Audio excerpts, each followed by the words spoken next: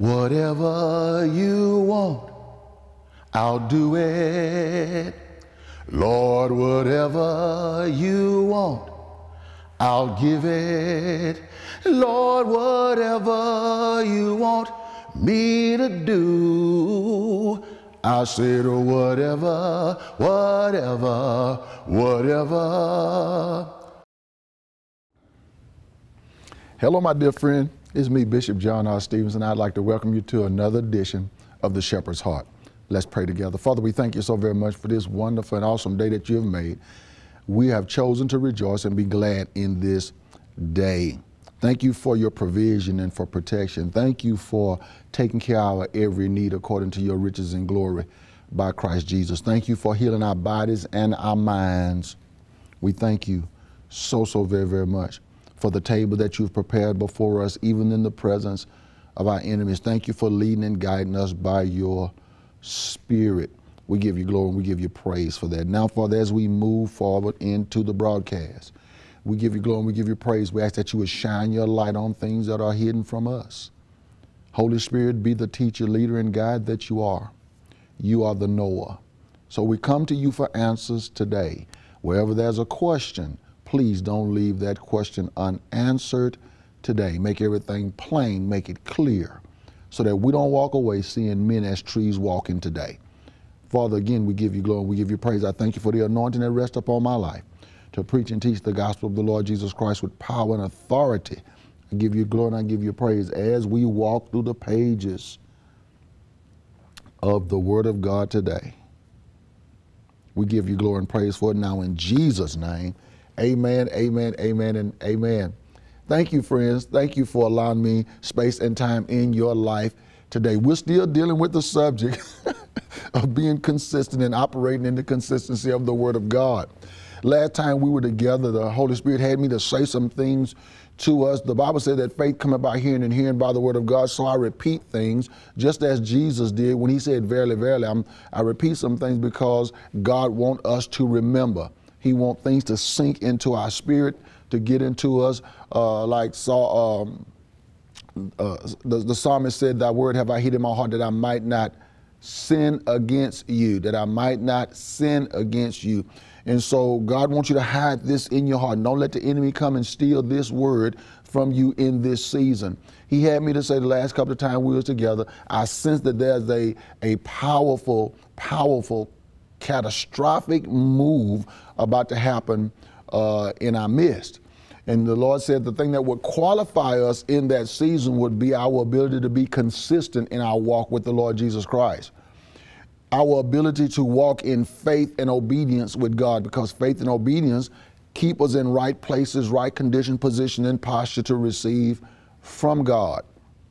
And so we talked about we talked about how in that moment, in that time, uh, that there would be a time of fruitfulness and elevation, fruitfulness and elevation. And so let's look at a verse of scripture as we're dealing with this because the Holy Spirit gave me uh, two verses of scripture to deal with as we talk about the fruitfulness. In Genesis um, 41 and 52, let's look at Genesis 41 and 52 right quick. Genesis 41 and 52 in reference to uh, fruitfulness. Genesis 41 and 52. And the name of the second called he Ephraim. For God, watch this now, for God has caused me to be fruitful in the land of my affliction. And so watch this. So in the land of my affliction. So so God is saying that there's something catastrophic to happen. The move is to be catastrophic. It's to be a powerful move. While the world see it as as plagues, we'll see it as miracle signs and wonders. And in that time, we will be fruitful, friend. We will be fruitful in the time of affliction. The next verse of scripture comes out of Psalms 92. Psalms 92. Psalms 92 uh, verse 13 to 15, Psalms 92. when it deals with the fruitfulness, he said this is going to be a, a time of fruitfulness and elevation. Not just fruitfulness, but fruitfulness and elevation for those who are walking consistently with him. Don't, let's not forget that, okay? Those who walk consistently with him. Psalms 92, 13 and 15. Here's what it says. Well, let me read uh, verse 12 as well. The righteous shall flourish. Thank you, Holy Spirit. Yeah. The righteous shall flourish like the palm tree. He shall grow like a cedar in Lebanon. Those that be planted in the house of the Lord shall flourish in the courts of our God. Watch this now. They shall, they shall bring forth fruit in old age. They shall be fat and flourishing to show that the Lord is upright. He is my rock, and there is no unrighteousness in him. So you see, friend, the Lord wants you to understand that in this time, those of us who are walking consistently with him, consistently with him, we're going to flourish, friend. We're going to flourish. He also said, watch this, he also said that it would be a Solomon kind of moment. a Solomon kind of moment, meaning, we was in Second Chronicles chapter 1, verse 7 to 12 a Solomon kind of moment when God visited Solomon. He visited Solomon and asked Solomon what he could do for him, what he and Solomon responded to him wisdom. He wanted wisdom. Let me take you over there so you can see Second Chronicles. Yeah, Second Chronicles chapter one. Let's go over here and look at this so we can so you can see this because faith coming by hearing hearing by the word of God. Let's look at it in that, start at verse number seven, in that night did God appear unto Solomon and say unto him, Ask what I shall give thee. You know, often we look at uh, Matthew 7 and 7 when it says, Ask uh, and you shall receive, seek and you shall find, knocking the door shall be open unto you. Yes, that word does, the word does say that, friend, but you have to be walking in a consistent way with God for that thing to come to pass. Okay, for that to happen, you can't be shaky in your walk with God and expect to ask seek, and knock, and the, what the word says is going to happen. No, you have to be consistent in your word and in your walk with God to see those things happen. So he asked him, watch this, and Solomon said in verse 8, Solomon said unto God, Thou hast shown great mercy unto David my father, and have made me to reign in his stead. So I want you to hear this. Uh, God is going to choose you over some others. Those who are walking consistent with Him will be chosen over others. Watch this now. And have, thou hast shown great mercy unto my father David, and have made me to reign in his stead. Now, O Lord God, let let thy promise uh, unto unto David my father be established. For thou hast made me king over a people like the dust of the earth in multitude. Verse 10. Look what he says. Give me now wisdom and knowledge that I may go out and come in before the people, this people. For who can judge this thou people that is so great? Now, watch this now because Solomon just qualified himself for something by asking for wisdom. He qualified himself for something by asking for wisdom that he didn't qualify for in the beginning. I'm going to read this next verse and then we're going to talk about that. And God said to Solomon, because this was in thine heart. Look, friend, he said, because this was in your heart. This wasn't just lip service. Just this wasn't something that Solomon said. Remember, men look at the outward uh, of a person, but God looks inward at the heart. He say, because this was in your heart, Solomon. Come on, friend. Because this was in, what is the condition, position, and posture of your heart right now? Because often we go before God and we say things to God. We say what our lips, but our hearts are somewhere else. Our hearts are somewhere else. God said, you know, you speak good of me, but your heart is far from me. They speak good of me. They say all these wonderful things, but their hearts are far from me. And so we go before God, and our hearts are not in the right condition, position, and posture when we go before God. Look what he said. Verse 11 again. And God said unto Solomon, Because this was in thine heart, and thou have not asked for riches, wealth, or honor, nor the life of thy enemy, neither yet have asked long life, but have asked wisdom and knowledge for thyself. Watch this, that thou mayest judge my people. Watch this now. Why is he asking for the wisdom? So that he can be the right kind of judge for God's people, so that he's fit to be the ruler that he's been called to be over God's people. This is powerful stuff now. Over whom I have made you king. Yes, God made him king, but here's the, Solomon is showing that he wants to be king. He he desires the position. He honors the, the position. He wants to be king. So give me what I need to be a good king. I don't just want to be a king. Help me to be the kind of king that you've called me to be. Friend, this is this is good stuff. Listen to what the Holy Spirit is saying to you because those of us who walk consistently in concert and in unity with God, in unison with God, we're going to be the people that God is going to choose to set over places of rulership.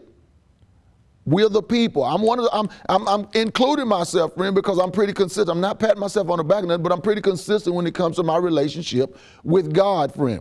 And so listen now, this is important. Listen. verse 12 wisdom and knowledge is granted unto thee and i will give thee riches and wealth watch this this is important because see solomon he he qualified himself for some things that he didn't qualify for at first. Now, watch this now. Just because you're a leader don't mean you're going to be wealthy, don't mean that you can handle other things. But God gave him the wealth that he that he didn't even ask for because he asked for wisdom. And the wisdom he asked for will help him watch this not only be able to be king but also handle the wealth. And so god gave it to him watch this he qualifies by responding with give me wisdom friend. You you disqualify yourself when you go to God and you ask for things. Oh, I feel I rebuke that spirit that's not walking with this, that's not in agreement with this. This is the word of God. This is not something Bishop just coming up with. So I rebuke that spirit now in the name in the name of Jesus. And so here it is. Solomon qualifies himself for something because he asks for wisdom. And so God says, I'm giving it to you, even though you didn't ask for it, I'm gonna give it to you now. Now, some would say, okay, well, he didn't ask for it, God just gave it to him. Yes, but wisdom qualifies him to have it. Why give him something that he, he can't handle? Because, see, without wisdom, friend, listen, a, a, a person with, with wealth, with money, without wisdom can't make it. There are people who've won the lottery and in a, in a year or two they broke. I mean, and won millions and millions of dollars, but because they didn't have the wisdom, friend, on how to invest it, excuse me, on how to invest money, what to do with money. Thank you, Holy Spirit. Listen, look at the, uh, the prodigal son. He asked his father for something that he didn't qualify for and he wasn't even ready for yet. Even though he was an heir of it, he wasn't mature enough to handle it. So he asked his father, he said, Give me my inheritance which comes to me. Now, that wasn't his until the father dies, but, but the father gave it to him. Read the story. He goes out and he spends his money on riotous living, on prostitutes and all kind of foolishness. And in a, in a short time, he's broke. He's in such a, a condition, friend, and frame of state of mind to where where he, he has to, he gets a job working slopping hogs. And he's so destitute in that position to where he, he's so hungry, he's even thinking about eating the food, friend, that he's feeding to the hogs. Why? It's because he didn't have wisdom.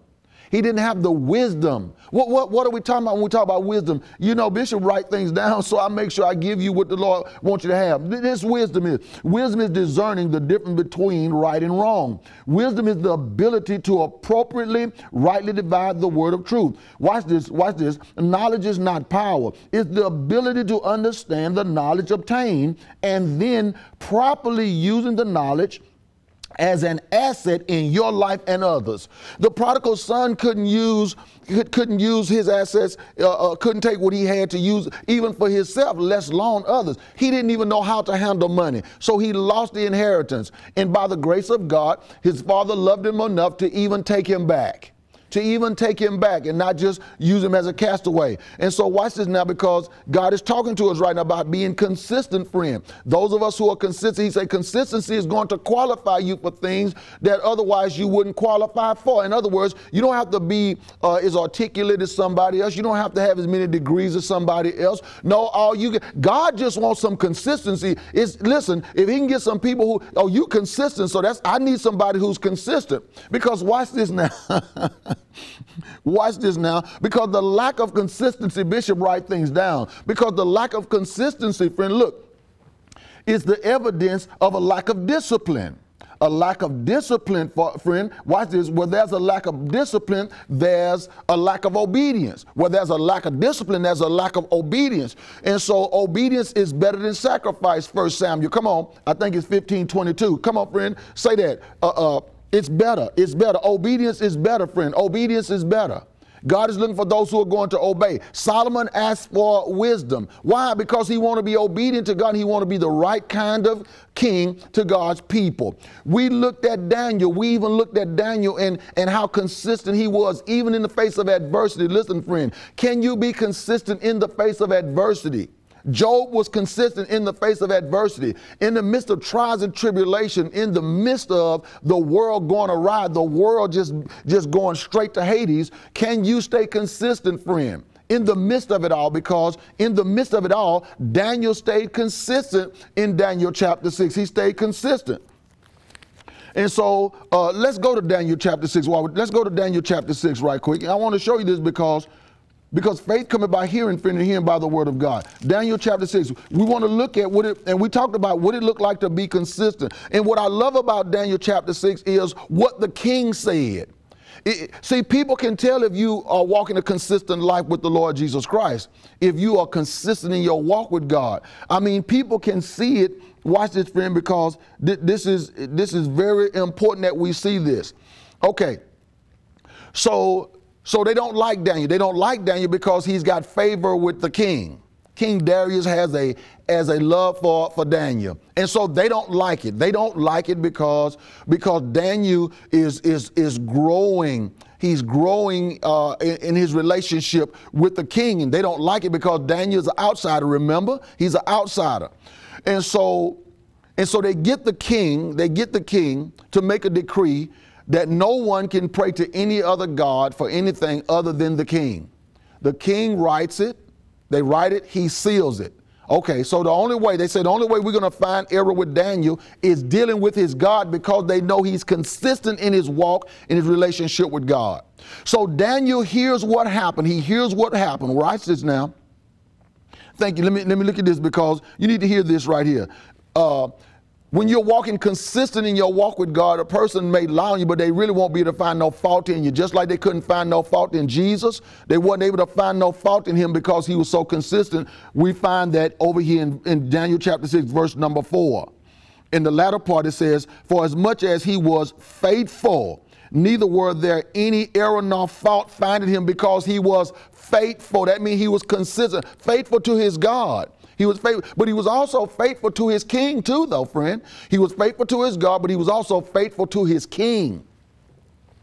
So when Daniel finds out, watch this, we'll read verse 8. Look what it says. Now, now, O king, establish the decree and sign the writings, that it be not changed according to the law of the Medes and the Persians, uh, which which altered not. Verse number nine. Wherefore King Darius signed the writings and the decree. Now, when Daniel knew, watch this, he knew what had happened. He knew the decree had been signed. We're talking about being consistent, friend. We're talking about being consistent now in the midst of adversity. In the midst of adversity, trial and tribulation, can you say that you're consistent, that you don't waver? Look what it says. Now, when Daniel knew that the writing was signed, he went into his house. Watch this. Watch this and his window being open. So he didn't hide, he didn't close his door because this is something that he's been doing. He's being a light, he's being salt. Watch this now. And, and his windows being open and his chamber toward Jerusalem. Watch this. He kneeled on his knees three times a day and prayed and gave thanks before his God as he did aforetime. This is something that he did all the time. Say consistent, friend. This is something he did all the time, regardless of what the situation was. He did this all the time. Watch this. Then these men assembled and found Daniel praying and making supplication before his God. Now watch this because I'm going to a verse of scripture that's that's powerful because the king knew that he was committed, that he was consistent in his serving God and his faith toward God. Watch this, friend. Watch this, friend. We're going to read, we'll, we're still in Daniel chapter 6, and we'll read in verse number 16. Then the king commanded that they Watch this. And they brought Daniel and cast him into the den of lions. Now the king spake and said unto Daniel, Thou God, whom thou serve continually, he will deliver thee. Watch this now because he's talking about throwing him in the fiery furnace. I mean, in the lion's den now because he went against the decree. So they're going to throw him in into the lion's den. But the king says this. Watch this. Now the king says, Thy God whom thou serve continually, he will deliver thee. He will deliver thee. So, so now he's walking in a faith right now. He's operating in a faith right now. Why? Because of the consistency of Daniel with his relationship with God. He's watched God, excuse me, he's watched God perform in Daniel's life because of his consistency. Watch this. Watch this. Now let's go down to verse number 20. He's been in the lion's den now overnight. The king shows up. He shows up because he want to see if Daniel is still alive. Verse number 20. and when he came, meaning the king, and we came to the den, he cried with a lamentable voice unto Daniel.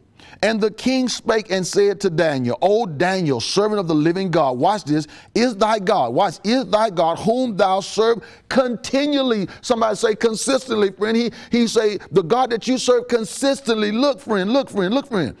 And the king spake and said unto Daniel, O Daniel, servant of the living God. Look what he say, servant of the living God.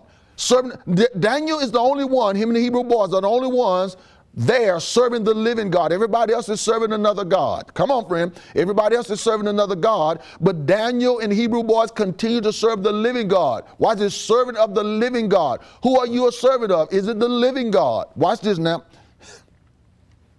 Oh, watch this now. O Daniel, servant of the living God, is thy God whom thou serve continually, who you consistently serve, able to deliver thee from the lions? Able to deliver you. And of course he was because Daniel spoke up. He spoke up in verse 21. Then said Daniel unto the king. We stop right there because Daniel responded. That let him know, that let the king know that God delivered him from the mouth of the lions.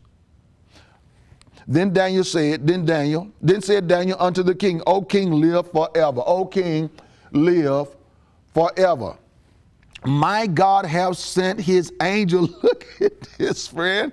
My God have sent his angel and have shut the lion's mouth, that they have not hurt me, for as much as before him innocence was found in me. Of course, because they didn't even find no fault in him. Come on, friend. They didn't find no fault in him. So if there was no fault in him, how could God find fault in him? Okay. Watch this now.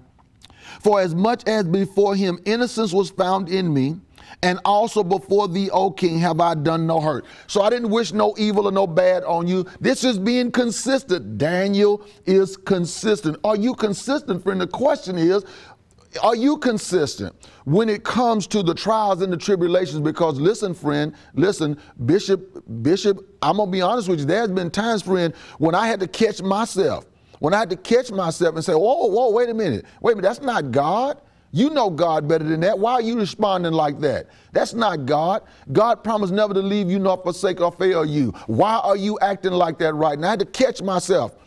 Friend, I had to catch myself.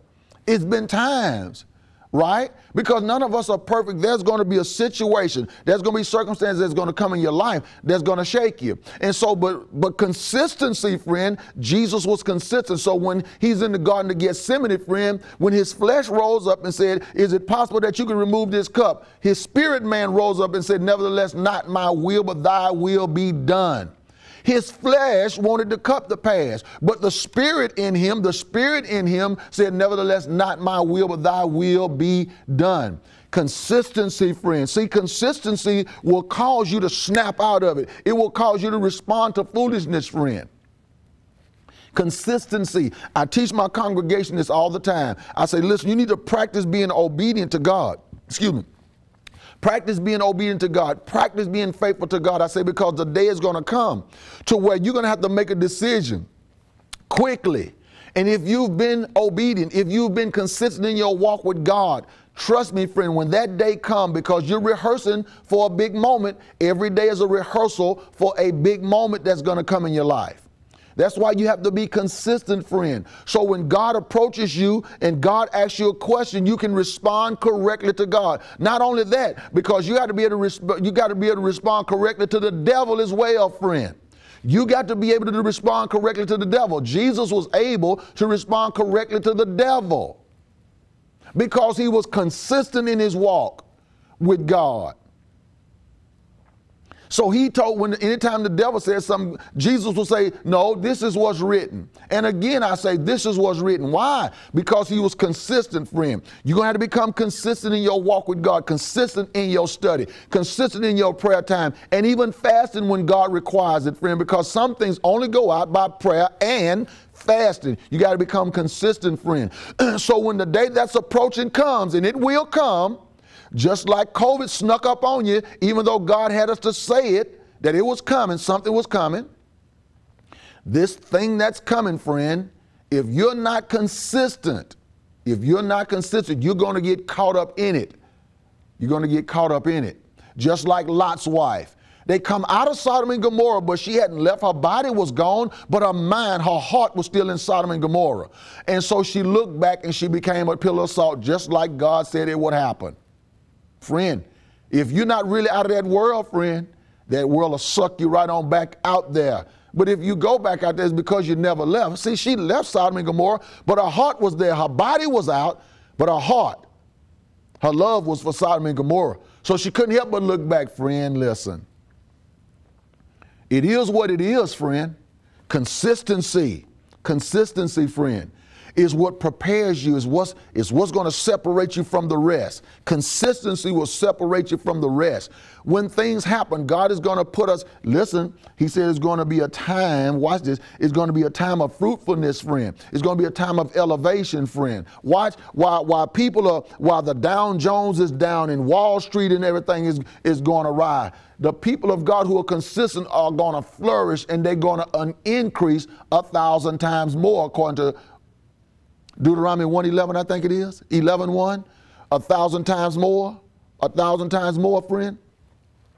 So, so we want to make sure that we position ourselves, we posture ourselves in a way to where when this thing happens that God is talking about, friend, we won't be left behind. We won't be left out. We won't be drawn back into that world. Consistency is the key. Consistency is the key. What is the key to? Is the key to the success to the success of the believer. There's no victory where there's no consistency. There can be no overcoming. There can be no breakthrough where there is no consistency. You got to be able to stick to it, stay with it, hold fast to it, friend. We're talking about the Word of God. We're talking about the Word of God. And we're talking about the will and the way of God. Please, friend, listen to what the Holy Spirit is saying to you right now. Get ready because it's coming. It's coming, friend. This thing, this move of God, this move of God is coming, friend. Nothing we can do to stop it. Just like it was nothing we could do to stop COVID, it showed up. This thing is going to show up, friend. And those of us who are consistent, friend, are going to benefit. At that time, things are going to happen to where it's going to, watch this, it's going to give God glory and draw people out of darkness into the marvelous light of God. I gotta, I gotta wind down now, but I thank you for allowing me time in your life today, space in your life today. I want to ask you again to continue to pray for KPLE, continue to pray uh, God's will and, and your giving. Help me to continue to help them. I love you to life and thank you so very much for everything, friend. Until next time, bye bye, friend. Bye bye. Whatever you want, I'll do it. Lord, whatever you want, I'll give it. Lord, whatever you want me to do, I said, whatever, whatever, whatever